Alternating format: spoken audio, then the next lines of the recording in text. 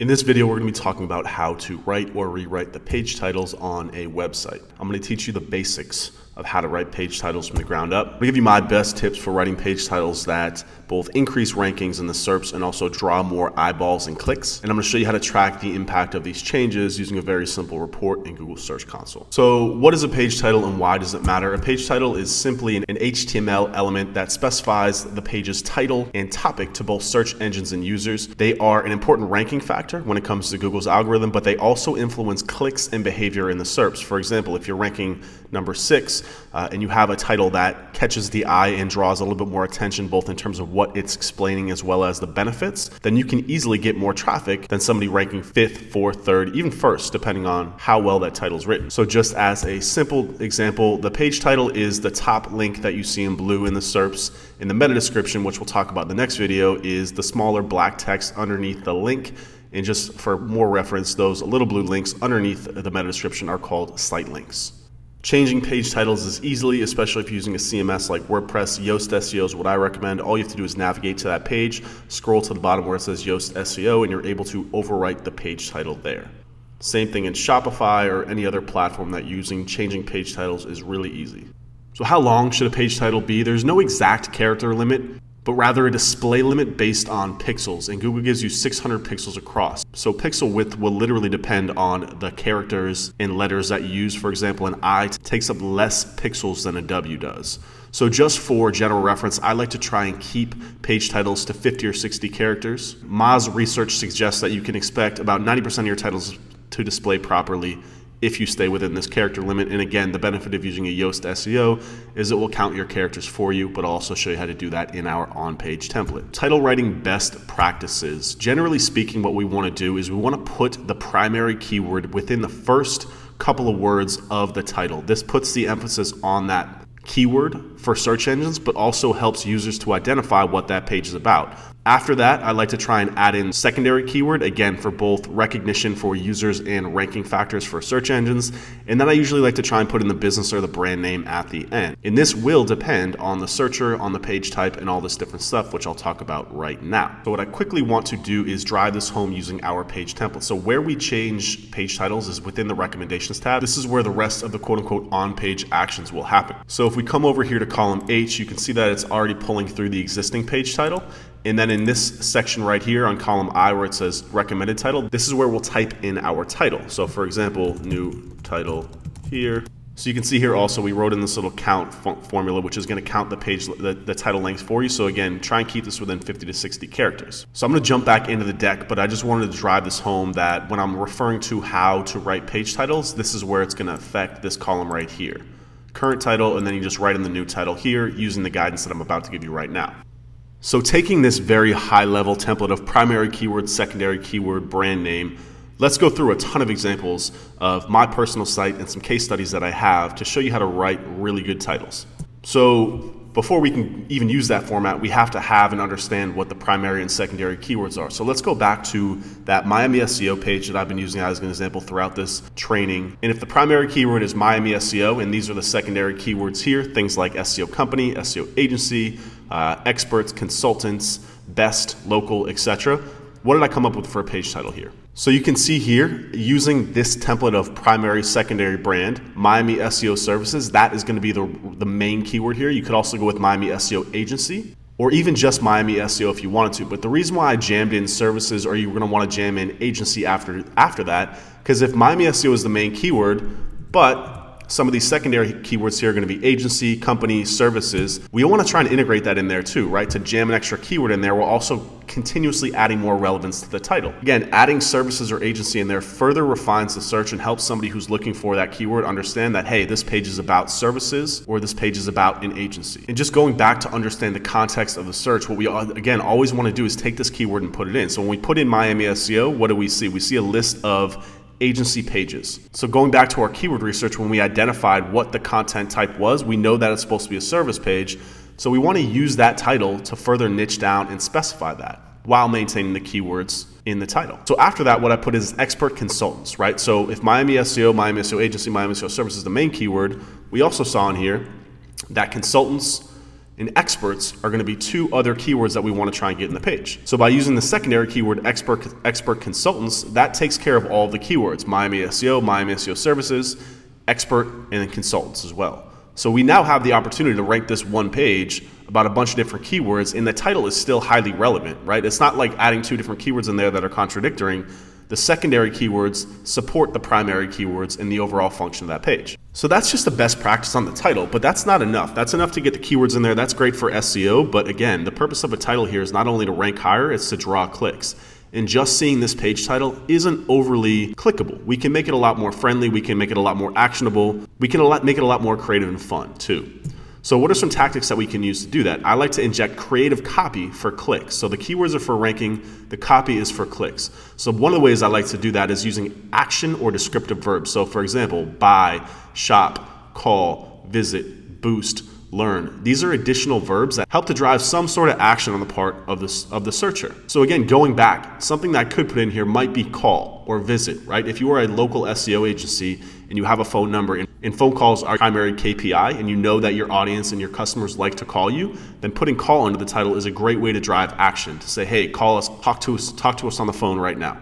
Some more things might be learn, make, view, preview, check. These are just additional uh, descriptive verbs, again, that help to drive action. They're not overly relevant here for this page title, but I'll show you with some more examples how they are. So another tactic that I like to do is to induce clicks. So adding in things like cost, right? Do you offer a free consult, free shipping? Do you have a discount on that page? These types of things help to induce clicks for somebody searching for a specific product or service. That additional offer is great to put in the title. Adding a sense of urgency, limited, only are another great way. I like to try and add in authority right? Exact, replacement, reviews. I'll show you how I did this with uh, our Miami SEO page.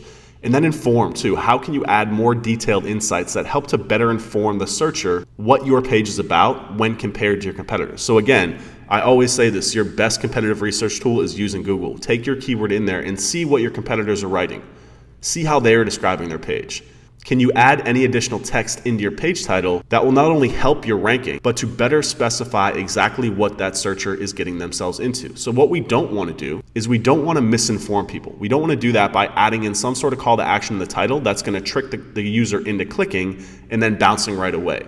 Because that negative that bounce is viewed as a negative action from Google. So, for example, if you are looking for a Miami SEO agency and you write some promises in the title that make people click, the people get to your page and they bounce right away and they go to another result.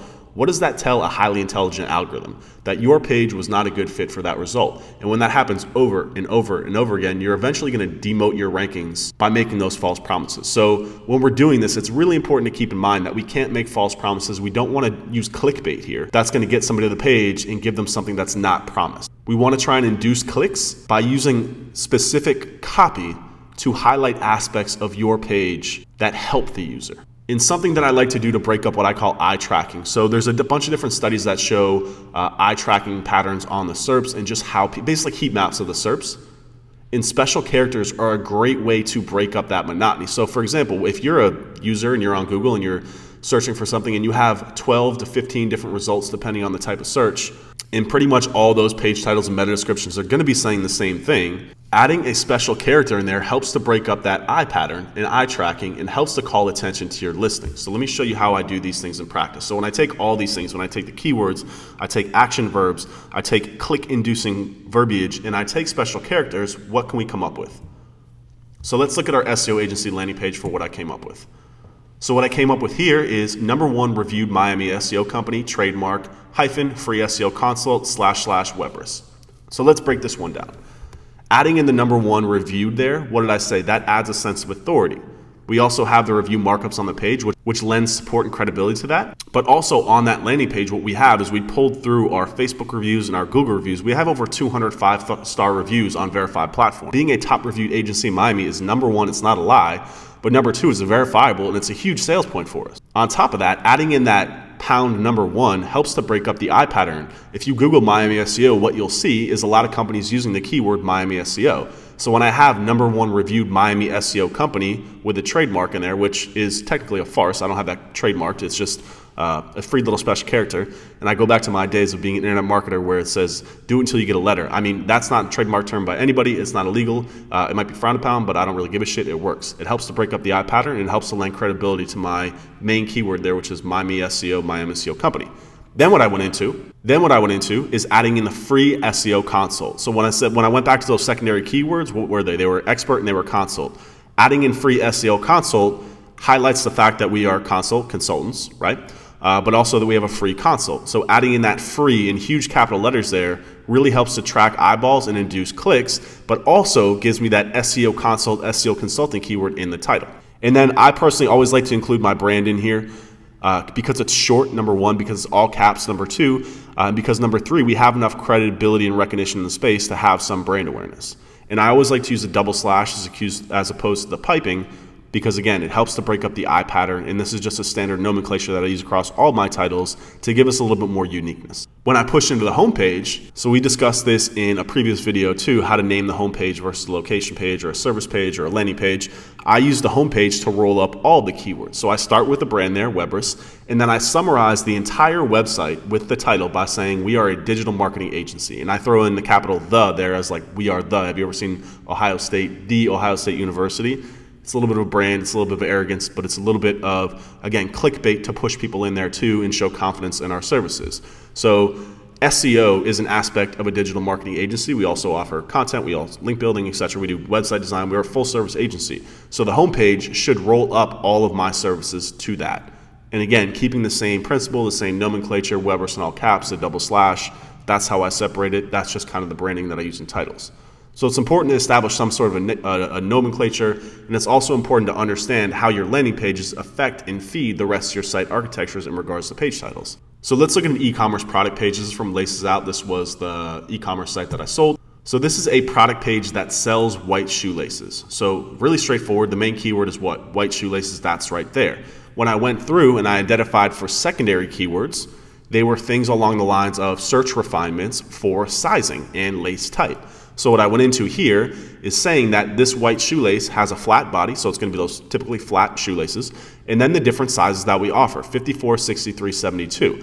And again, the reason why I put the, the numbers in here is for two reasons. Number one is because this helps with rankings. If somebody's looking for, if somebody knows what they're looking for and they're searching for 54 inch white shoelaces, this page is going to rank better than any other page, regardless. Uh, that's just about white shoelaces, even if they offer the same size. So again, when I was talking about showing some expertise and authority, uh, or just adding more detail to help the user and inform the user exactly what they're looking for, they know if they're searching for this or they don't know. They see that we have three different sizing options here cleanly listed out. This title helps to inform, but again, also throws in those secondary and semantic keywords that help to rank this page a lot better. On top of that, when we look at how this breaks up the eye, again, if you just Google white shoelaces number one, you'll see this page, but number two, well, maybe not anymore because this site owner really botched the site.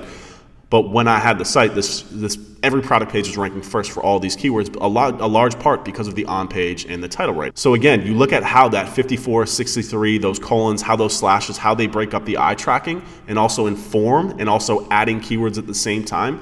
This page ranked really, really, really well. And then of course, when we talk about throwing in additional things like meta descriptions, which we'll talk about in the next video, like schema, which we'll also talk about, you can see how this listing here really stands out and breaks up the eye no matter what it's up against, right? So that's how to inject creative copy and keywords into a, a product page title. Here's another one, uh, an example of a different type of product. So this is uh, rope laces, right? So you can see how we used a different style here. So this SKU, we only had one sizing, 50 inches. It only came, that was all the supplier gave us was one. So what we wanted to do was call that out, not 54, 63, 72. Why? Because if we had that, 54, 63, 72, even though people might have been searching for it, again, we're going back to lying and misinforming what people are searching for. We don't want to put something in the title just to induce clicks and then have somebody get there and be like, oh, by the way, we're sold out because they're just going to leave right away. We'd rather not have a click than have a false click, if that makes sense. But what I did here was make the title very descriptive and take up as much space as possible by saying baby blue, rope in, in quotes, uh, laces, woven pattern shoelaces, just to add in more keywords there again too, so shoelaces, and then 50 inch. So this one I just wanted to blow out, make it as long and descriptive as possible while taking advantage of the fact that, I mean, how many ways can you just describe uh, rope shoelaces, right? Just basically just blue shoelaces. This is a way that you can do it by just extracting all the keywords, making this as long and descriptive as possible, again, while still informing and helping people find what they're looking for. Here's another example from that website. So again, through our keyword research, what we identified was that people were searching for specific versions. People were searching for specific sneakers that matched shoelaces. Let me let me break that down a little bit more. So in this industry what we found again through our keyword research was that people were searching for a type of sneaker to replace shoelaces for. So example, uh, uh, Jordan 1s are like 200 bucks. They do limited releases for them. When you buy those sneakers, you want the exact replacement laces when they wear out because shoelaces wear out and you're not going to go out and buy another pair of these sneakers because they're collector's item number one because they're so expensive. It's a lot cheaper to replace the laces and maintain the quality of the sneaker than to go out and buy a new one, right? So our key research showed up that there were a lot of people who were looking for replacement laces. So what did we do? We created a whole new product page that was the same SKU. This is the same 72 inch black laces that was on this product page here. So the same, uh, the white shoelaces, we have the same version of black shoelaces, 54, 63, 72. But what we did is just created a whole new product page to highlight the fact that this is, while it's the same SKU, the customer doesn't need to know that, but it helps to match exactly what they're searching for. They are searching for black Jordan 1 shoelaces. In this page from SEO was our highest revenue and most profitable uh, traffic source for the entire business. This page alone and the white shoelaces made up about 15% of sales on the website. And the conversion rate from this page from organic search was like 72%. It was crazy. Like shit that you just don't see. Because the fact that why? we took our keyword data, we aligned it with our SKUs, we launched a new product page, and we made this page exactly what the searcher was looking for. Black Jordan 1 shoelaces, they are looking for exact OG is kind of like a slang term. Again, so speaking the people, people's language, using that creative copy to be very descriptive about what's on the page. Exact OG replacements, 72 inches. This is exactly what people are looking for. And what we did on top of that too was we went out and created a marketing campaign where we highlighted all the different types of shoelaces that you need for your Jordan sneakers. This is a whole subculture that um, I don't really have time to get into it in just title writing, but it's a whole subculture that we identified uh, that we were able to exploit with just SEO and, using these tactics. That wasn't overly, and when I say we, I mean I, uh, but we were I was able to go out and exploit this tactic by taking the existing SKU that I had and just layering on uh, this basically marketing tactic on top of it, which ended up becoming our number one seller uh, for the website, which is pretty cool if you think about it. So now let's talk about category pages. So again, when we're talking about titles, I, am a, I'm a very process-oriented thinker. In case you haven't noticed, I like to set up standard nomenclature where we're passing the same hierarchies, passing the same language, passing the same structure of titles across the whole website. So those are the category, the product pages. That's underneath the category page, right? How do we roll those up into a category page? And why do category pages matter for e-commerce? Well, because if you're looking for black Jordan 1 shoelaces, you're probably looking, you are looking, you're deep in the funnel, you are looking for a specific product. You want to land on a product page, you want to buy that product. However, where a category page comes in, is it comes in for more variety, right? So if you're looking for flat sneaker shoelaces as opposed to white flat sneaker shoelaces or 72 inch white shoelaces, you're looking to shop a variety of things, right? So we go back to when we are talking about keyword research and intent. This is where identifying that intent is so important and mapping that to the right stage on the website which in this case would be if you're looking for flat sneaker shoelaces, the best one here is to use a category page to rank for that. And on that page, you just select the products to list out that are all flat. So on this product page, on this category page, sorry, we had Jordan shoelaces, we had white shoelaces, black shoelaces, anything that was tagged on the back end of WordPress, because we use WooCommerce, as a flat sneaker shoelace would show up here. And then we were able to do the same thing for round shoelaces, for Jordan shoelaces, all the different versions of Jordan shoelaces. So we were able to populate these category pages and make them very legitimate search results by understanding what people were searching for uh, and building the site around those keywords. And when we're talking about the title here, uh, what I did was shop wide variety of flat sneaker shoelaces. So again, understanding the intent of what somebody's looking for when they're searching for it. We want to rank for flat sneaker shoelaces here, right? That's the main keyword. Um, there wasn't really too many secondary keywords here because that's really what it is. In terms of sizing, we don't really want to put those on because there's too many SKUs to list out. There's like 10 different sizes, so we can't put those on there. Same thing with colors. Uh, there's too many colors to, li to, list on there. So what we did is we used the, the creative copy of shop wide variety. What does that tell you? That, hey, there's literally a wide variety of flat sneaker shoelaces on here. And again, when you take this title, when you take flat sneaker shoelaces and you search for it, there was no one out there that was really targeting this keyword the right way. That we all had similar results. They all had flat, wide shoelaces, but we, they were not informing the searcher of exactly what to look for on that or what they're going to get from that page. And a lot of that is just is just laziness and lack of understanding of their platform because uh, category pages on e-commerce sites generally will just take a default WordPress title or Shopify title. You have to go in there and actively actively uh, change the title. Uh, and again, that's really important because category pages rank really, really well for e-commerce, and they're a big part of uh, your SEO strategy. So you need to make sure that you're buttoning things, these things up on an e-commerce website. And then again, pushing to what I talked about with Webris, talking about uh, rolling this all up into the homepage. This site only sold shoelaces, right? But more specifically, we sold sneaker shoelaces. And I really wanted to rank for sneaker shoelaces with the homepage because homepages rank really well. They get the most links, they have the most authority, uh, and if you build them the right way, then they can be a really good result for this keyword.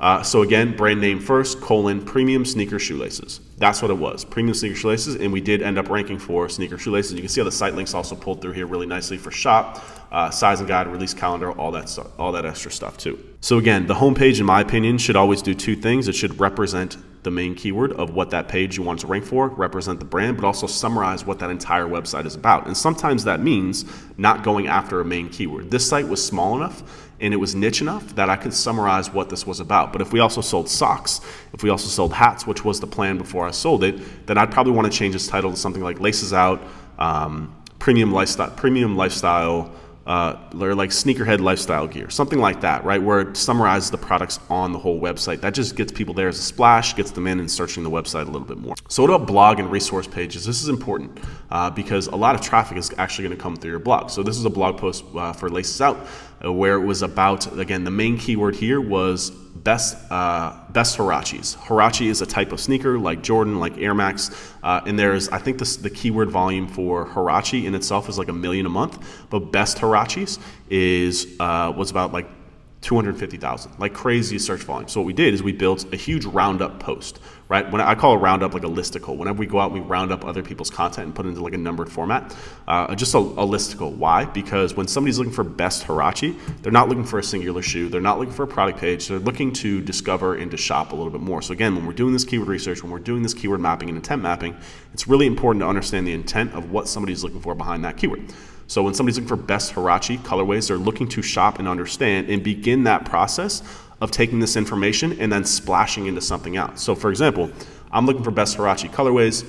Uh, I don't even know what color. I don't even know what type of Huarache because there's different styles. Uh, there's like sport. There's also there's all sorts of different Huaraches. I'm looking to, to to broadly start my search and start that buying process.